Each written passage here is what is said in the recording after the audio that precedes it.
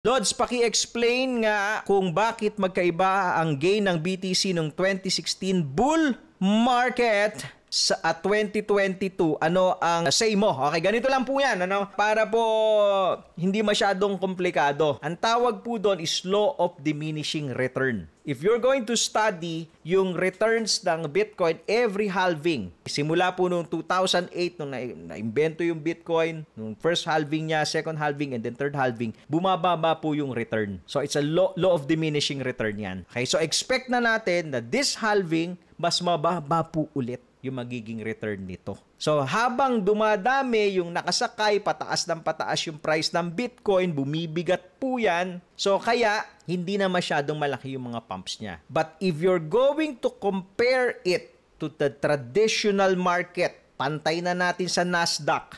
Nasdaq na yung pinakamataas na akyat ng US equity. Nasdaq po yan maliit pa rin yung Nasdaq compared sa akyat ng Bitcoin. So, if you're new here sa Bitcoin, sa, sa crypto, and then ini-expect mo na yung return niya will be the same as the return last halving or the previous halving, magkakaproblema ka. You're expecting too much. So, you have to lower your expectation that because of the law of diminishing return. Follow for more Tito Moves!